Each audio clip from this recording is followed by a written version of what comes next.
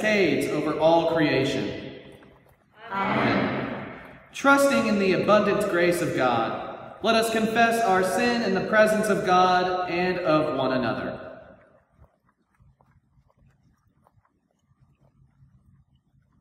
Holy God, you search us and know us. You are acquainted with all our ways. We confess that our hearts are burdened by sin, our own sin broken systems behind us. We distrust those who are not like us. We exploit the earth and its resources. We fail to consider generations to come. Forgive us, gracious God, for all we have done and left undone. Receive our words in your divine mercy. Amen. By the grace of God, through the power and promise of Christ Jesus, our sins are washed away and we are claimed as God's own beloved. Indeed, we are forgiven. In the wake of God's forgiveness, we are called to be the beloved community, living out Christ's justice and the Spirit's reconciling peace. Amen. Amen.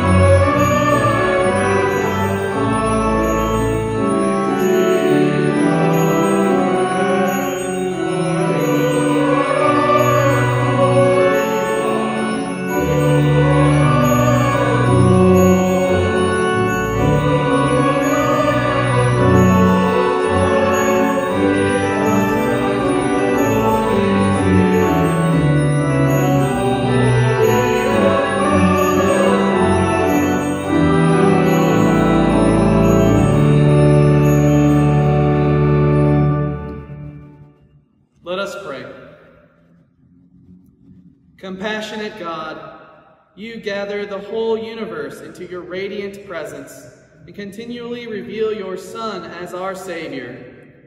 Bring wholeness to all that is broken and speak truth to us in our confusion, that all creation will see and know your Son, Jesus Christ, our Savior and Lord. Amen.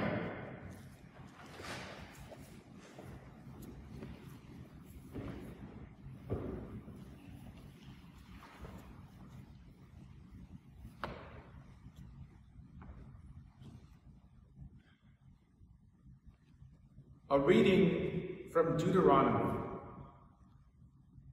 Moses said, The Lord your God will raise up for you a prophet like me from among your own people. You shall heed such a prophet.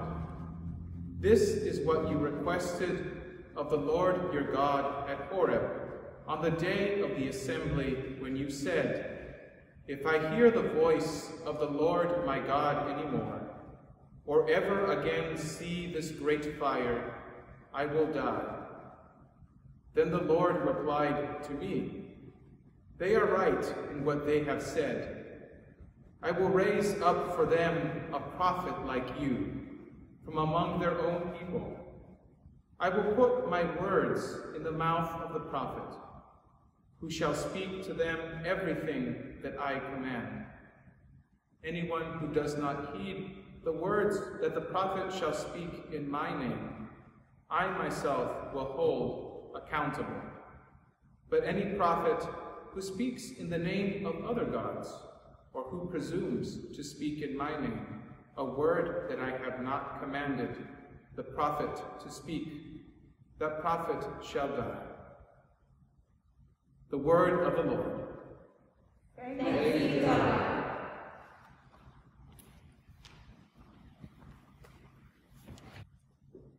to God.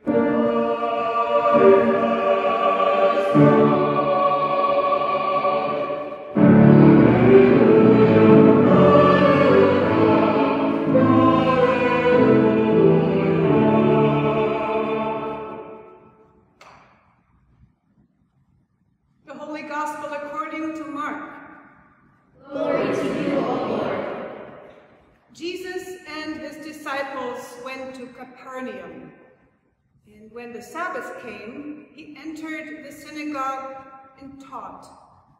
They were astounded at his teaching, for he taught them as one having authority and not as the scribes. Just then there was in their synagogue a man with an unclean spirit, and he cried out, What have you to do with us, Jesus of Nazareth? You come to destroy us? I know who you are, the Holy One of God.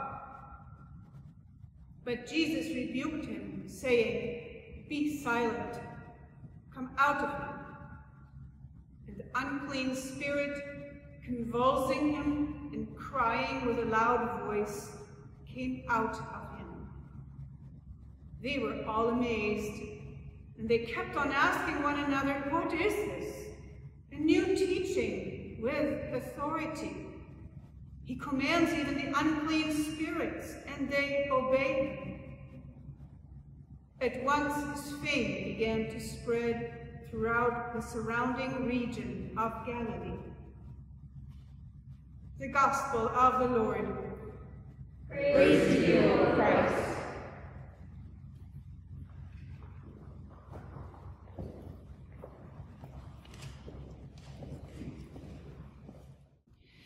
Grace to you and peace from God our Father and the Lord Jesus Christ. Amen. Jesus taught them as one having authority.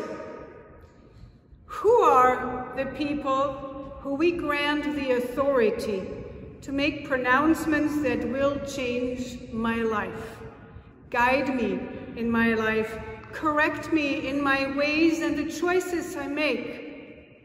Take a doctor, for example. We prefer to seek out an authority in their field so that we get a clear, trustworthy diagnosis. We are willing to accept regimens of treatment and projections about our outlook if the word comes from a source that speaks with authority. Or take teachers. We've all had them, good ones and bad ones. The bad teachers used their authority to dominate.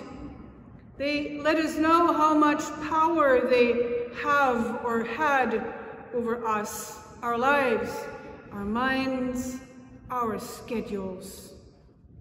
The good teachers are those who teach with authority, who open our eyes. They open up mysteries when class is over and the world is not the same anymore. Understanding floods you inside. A new lightness lifts your step how to approach life or a specific subject. The world has changed and a new time has begun. We are still looking for teachers. We are looking for leaders, world leaders, whose authority we trust, because we are still in search of a new time. We are in search of the knowledge and skill that will change our lives and make us whole, or even only a little more whole, purposeful, directed. We yearn to leave behind the confusion, the multitude of conflicting answers that we get. We yearn to, let, to leave behind the deception of political and economic answers that we have discovered do not provide clarity and wholesomeness. We yearn for deeper understanding to leave behind conflicting voices which let us make wrong decisions, decisions that in turn cause fear and loneliness. When it dawns on the people of Israel that their beloved, trusted teacher and leader Moses will not be with them forever, and that if they didn't have a mediator between them and God to receive God's word, they would, in the directness of God's awesome holy presence, simply burn up and perish Moses comforts them, saying that there will be a new prophet for them. And prophets there were. We just met some of them recently again, Samuel and Jonah. And there were Elijah and Nathan and Isaiah and Jeremiah, Hosea, Joel, Amos, and all the others the sages and wisdom scholars of the later centuries. God, the ultimate authority, does not leave us alone. And now we are in Capernaum, a small Jewish fishing village on the northwest shore of the Sea of Galilee. Jesus makes that his base in Galilee, not Nazareth from where he is. What we know about him is that he is filled with the Holy Spirit, bestowed with God's divine authority at baptism as the beloved Son. We know his one sentence of preaching, teaching, that he has uttered so far. The time is fulfilled the kingdom of God has come near. Repent and believe in the good news. And we know he called four disciples. Simon, Peter, and Andrew actually are from Capernaum. It is the Sabbath day. Jesus steps onto that path that John the Baptizer prepared for him, the paths made straight in the proverbial desert, hills made low, valleys lifted up. Jesus enters the synagogue, the community hall, where on the Sabbath the Torah is read and studied. The Sabbath is a different time. It is always a new time, a day of rest and recreation, renewal. It is the day when the people remember the kingship of God, that God is the ultimate authority and that we people are not at the center of the universe. It is the day to remember God's purpose for creation, God's rule over creation. Into this Sabbath day, Jesus proclaims the time is fulfilled. The kingdom of God has come near. Repent and believe in the good news. The hour has begun, sisters and brothers. The day of God's time and rule is here. Jesus teaches it with authority, and those with him in the synagogue are astounded. They know viscerally, on the spot, that all the skill, the wisdom, the scholarship, the reputation of their best revered authorities, their scribes, does not come close to, does not reach into this fulfilled time, the hour that has now begun, for which they all so yearn. They are filled with amazement. Just then in their synagogue, a man with an unclean spirit is there, and he cries out. Now, this is no coincidence. It is silent in the synagogue. Those present, those astounded, do not speak. Jesus' teaching provokes a powerful counterforce. An unclean spirit screams into the face of Jesus' proclamation, What have you to do with us, Jesus of Nazareth? Jesus exorcises the unclean spirit with a word silence. Be silent. Filled with the Holy Spirit of God, Jesus denies that unclean spirit its host, the poor man, in whom it had settled in place for so long. One last time, the man convulses and the spirit is gone, disempowered, not able to hold sway over this human life anymore. Silence and peace fill the synagogue. And all of a sudden there's space, there's room. People stir in amazement. They talk. Their tension and nervousness gives way. What is this? A new teaching with authority. God's hour has begun. The time is fulfilled. The news spreads throughout the surrounding region of Galilee. It truly is Sabbath today, God's day. The world is not the same anymore. Now the people in the synagogue are talking, brought out of silence to wonderment, recognition, knowing in a deep way they are engulfed in a true teaching moment. Can we, too, enter into this realm of authority, into Jesus' time, God's time, the full time? The Sabbath day in Capernaum is gone so long already. The good news is, dear congregation, that it is Sunday today. Sabbath is followed by Sunday, the eighth day of creation, the day in which we, the baptized, the church, join Sabbath recreation. We live in the continued presence of our risen Lord who meets his disciples in Galilee. If in Galilee, that can only mean also in our own homes, our own hometowns, our lives, our own specific time. A new time has begun indeed.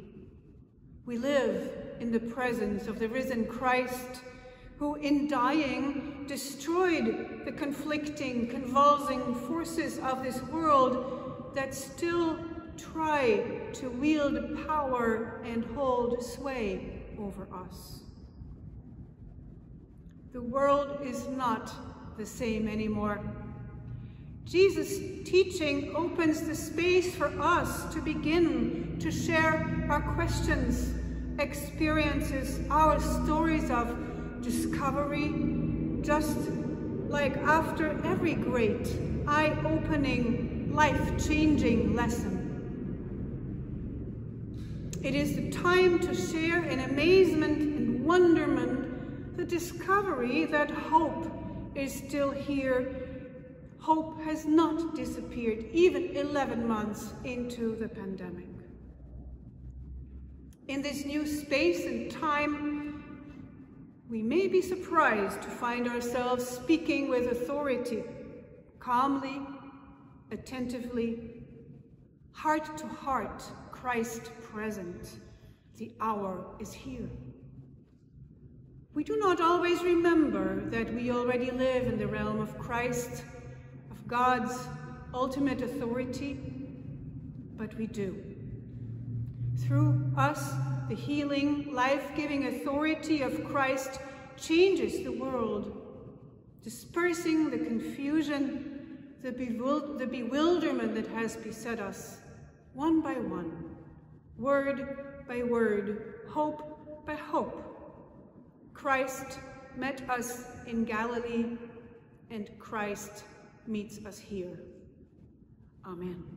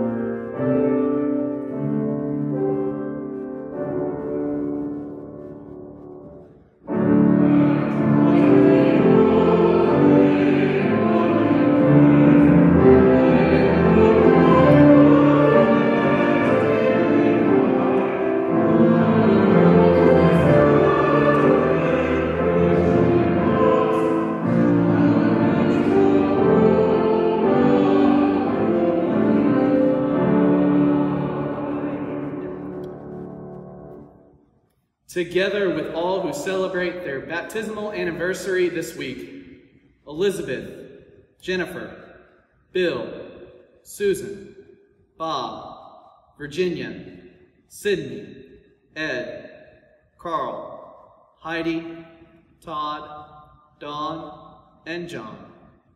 Let us confess our faith. I believe in God the Father Almighty, creator of heaven and earth.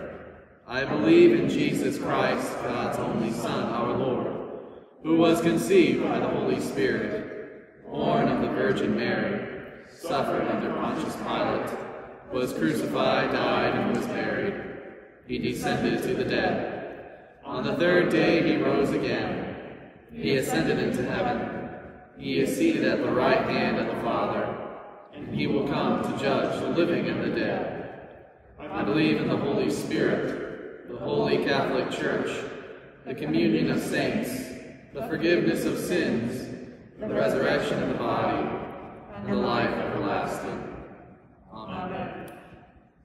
Guided by Christ, made known to the nations, let us offer our prayers for the church, the world, and all people in need.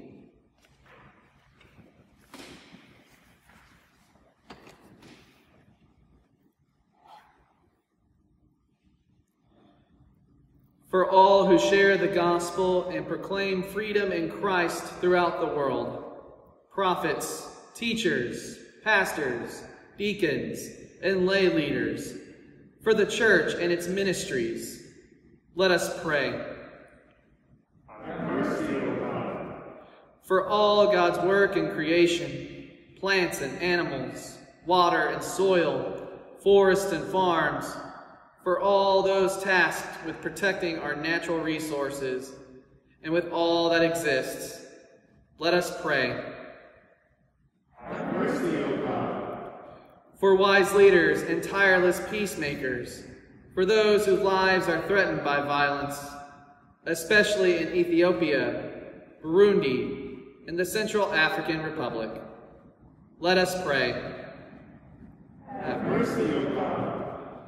For all people during this pandemic, for families struggling to afford necessities, for all struggling with depression and thoughts of self-harm, for all who are working to end the pandemic, that God's life-giving rest and recovery emerge out of the shade of this present time. Let us pray. Have mercy, O God. For the work of Search Homeless Services and our January mission offering, that our common ministry may reduce the plight of the poor and commit us to the well-being of our neighbors. Let us pray. For the wisdom and gifts we have received from our community, especially Joyce Klein on her 90th birthday, Paul Shank on his 92nd birthday, and the 50th wedding anniversary of Inda and Neil Imega. Let us pray. Have mercy, God. For those who suffer in mind, body, or spirit, those who are sick and hospitalized, those living with HIV and AIDS, those struggling with mental illness, those who are hungry or homeless, and all in need. We lift our concerns for Erna Baum, Michael and Donna Harrison, Toby Harrison, Alan and Donna Dieter, and Nick Pentasis, and those we name in our hearts.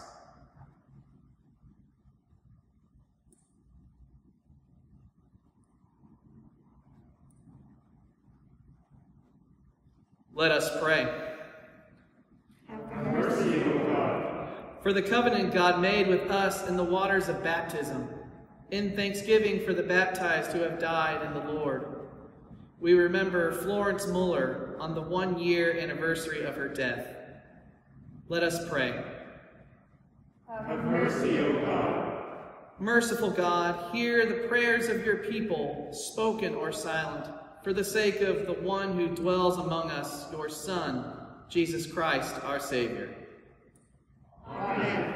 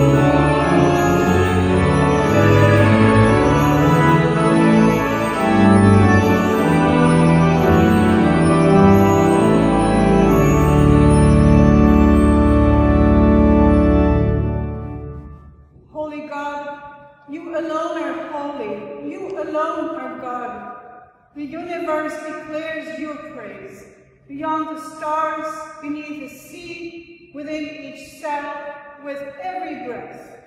We praise you, O God. Generations bless your faithfulness through the water, by night and day, across the wilderness, out of exile, into the future. We bless you, O God. We give you thanks for your dear Son, at the heart of human life, near to those who suffer, beside the sinner, among the poor, with us now. We thank you, O God.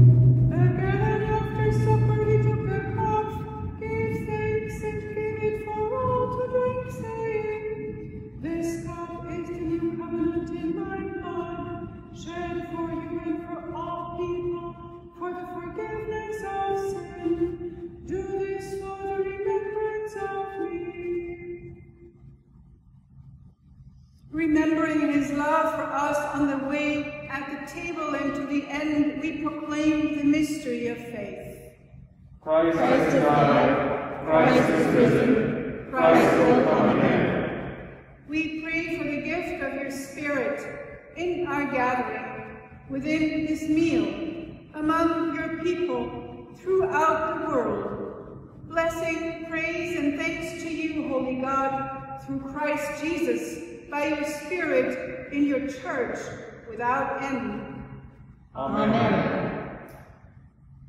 Our Father in heaven, Hallowed be your name. Your kingdom come. Your will be done, on earth as in heaven. give us today our daily bread. Forgive us our sins, as we forgive those who sin against us. Save us from the time of trial, and deliver us from evil. For the kingdom, the power, and the glory are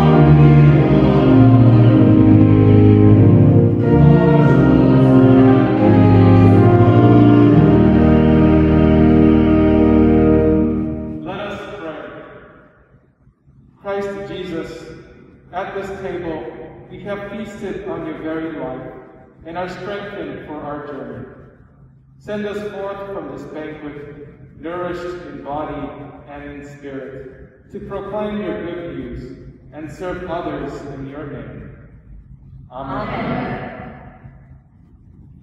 God the Creator strengthen you. Jesus the Beloved fill you.